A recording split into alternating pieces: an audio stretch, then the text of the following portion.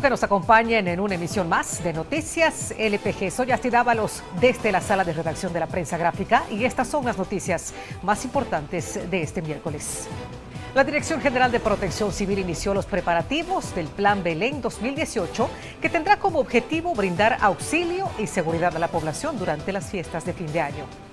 Para la implementación del plan se piensa realizar actividades de prevención sobre uso de pólvora, aplicación de sanciones, atención de pacientes quemados por pirotécnicos y organización de voluntarios en servicio de los cuerpos de socorro, uso de ambulancias y equipos de rescate. Todas estas medidas se harán en coordinación con las alcaldías del país. El plan Belén se lanzará de forma oficial el próximo 20 de diciembre.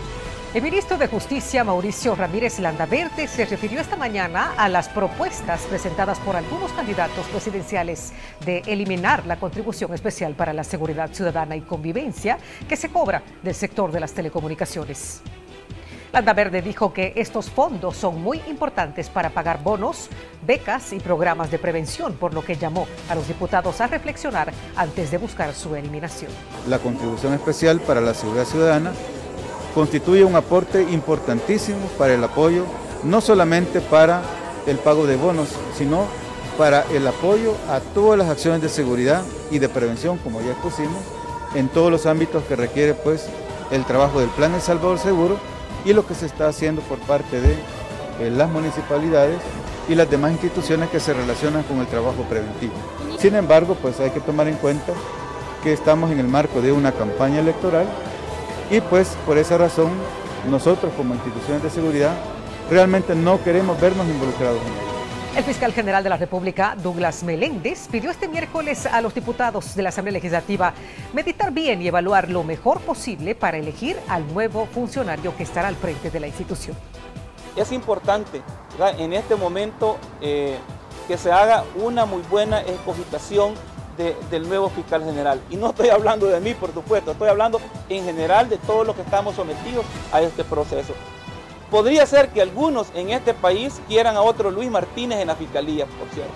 En cuanto a la propuesta de eliminar la contribución especial para la seguridad ciudadana y convivencia, Meléndez discrepó con lo declarado por el ministro de Justicia. Se buscara la manera de obtener otros fondos que no sean necesariamente del el bolsillo de la población. Eso concretamente. ¿Que se necesitan esos fondos? Por supuesto que se necesitan.